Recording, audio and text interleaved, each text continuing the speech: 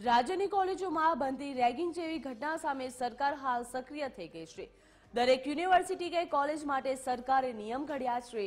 નિયમનો અમલ નહીં કરનાર યુનિવર્સિટી કે સંસ્થા સામે કડક કાર્યવાહી કરવામાં આવશે. રેગિંગની ઘટનામાં દોષી જે હશે તેને સજા પણ ફટકારવામાં આવશે. વિદ્યાર્થીને વર્ગ ભરવા કે શૈક્ષણિક મળવાપત્ર લાભ સ્થગિત હશે કે સ્કોલરશિપ કે ફેલોશિપ સ્થગિત હશે તો પરીક્ષા અને પરિણામ અટકાવવામાં આવશે. યુનિવર્સિટી કે સંસ્થાની કોઈ પણ ઇવેન્ટ કે યુથ પ્રવૃત્તિ ઉપર પ્રતિબંધ કોલેજ કે સંસ્થામાંથી કરવામાં આવશે, તો પણ સસ્પેન્ડ કરાશે. અને કોઈ પણ સંસ્થામાં પાંચ વર્ષ સુધી પ્રવેશ નહીં આપવામાં આવે. સરકારે યુનિવર્સિટી માટે પણ આ નિયમ ઘડ્યા છે. સરકારના નિયમનું પાલન નહીં કરનાર યુનિવર્સિટી સામે કડક કાર્યવાહી કરવામાં આવશે. તો તમામ સંસ્થાનું જોડાણ પણ રદ કરવામાં આવશે. ગ્રાન્ટ અને અન્ય કોઈપણ આર્થિક સહાય સ્થગિત કરવામાં આવશે તેવા નિયમ ઘડવામાં આવ્યા છે.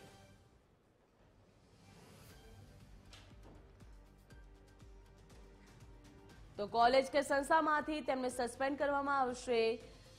યુનિવર્સિટી સામે સરકાર દ્વારા નવા નિયમ ઘડવામાં આવ્યા છે અને કોઈપણ સંસ્થામાં પાંચ વર્ષ સુધી પ્રવેશ નહીં આપવામાં આવે તેવો પણ નિયમ બનાવવામાં આવ્યો છે. સરકારે યુનિવર્સિટી માટે નવા નિયમ ઘડ્યા છે. તો હાલ યુનિવર્સિટી કે કોલેજોમાં રેગિંગ જેવી ઘટનાઓ થતી હશે. તેની સામે કડક કાર્યવાહી કરવામાં આવશે. સરકારના નિયમનું પાલન નહીં કરનાર યુનિવર્સિટી કે કોલેજ સામે પણ કડક પગલાં લેવામાં આવશે. સંસ્થાની માન્યતા રદ પણ કરવામાં આવશે.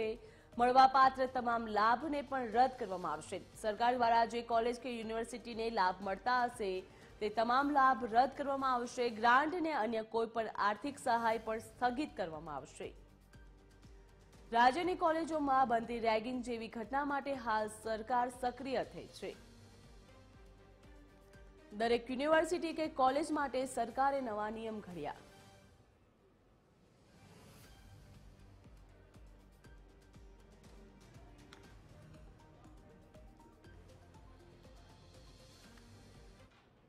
તો આપણી સાથે ફોન લાઈનમાં ડોક્ટર કિરીટ જોશી જોડા ચૂક્યા છે. તો ટીવી થર્ટીન ગુજરાતીમાં આપનું સ્વાગત છે.